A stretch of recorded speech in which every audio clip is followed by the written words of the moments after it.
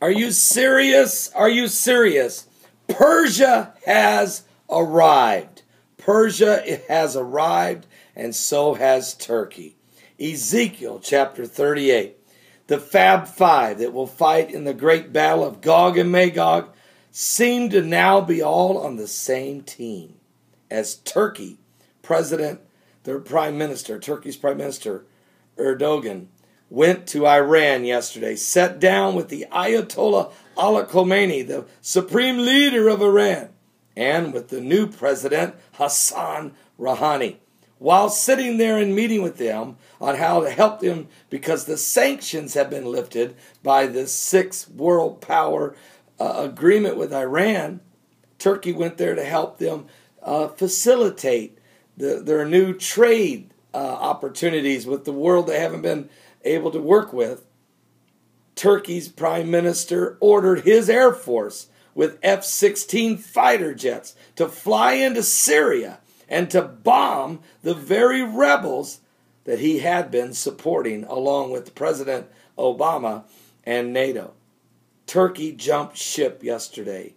Turkey joined the Fab Five.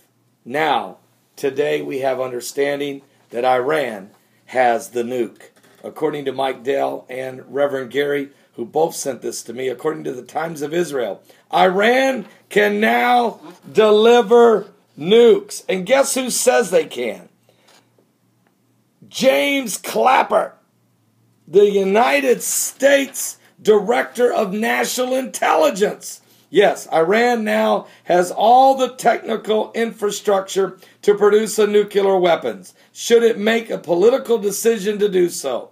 According to Director of National Intelligence James Clapper, he wrote in a report to the Senate Intelligence Committee published yesterday, uh, January 29, 2014. However, he added, it could not break out to make a bomb without being detected.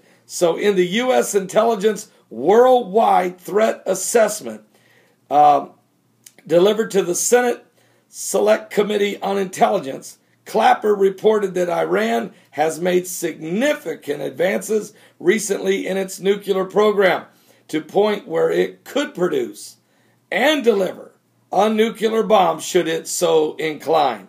Tehran has made technical progress in a number of areas, including uranium enrichment, nuclear reactors, and ballistic missiles, from which it could draw if it decided to and build a missile deliverable nuclear weapon, according to James Clapper. These technical advancements strengthen our assessment that Iran has the scientific, technical, and industrial capacity to eventually produce nuclear weapons. This makes the central issue its political will do so. If it wants to, it can. So, all of this smoke and mirrors and all of this, we'll never let Iran have a bomb. We'll never let them get to the point where they can make it. Forget about it. Forget about it. They can. And we've already signed a six superpower deal. The United States, Russia, China, the United Kingdom, France, and Germany signed a deal lifting the sanctions freeing up $9 billion to Iran. And Turkey's over there right now helping move, giving them all the connections and how they can sell their stuff so they can boister their economy. And, and the very next day they announce they can make a bomb now. They, our intelligence director says they can do it. And oh, by the way, while Turkey was there, they sided with Iran, not only to help them with their uh, trade in the world to get back on the world stage economically. But while they were there, they jumped ship.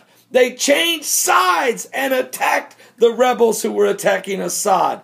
What? That fine. I've been reading Ezekiel 38.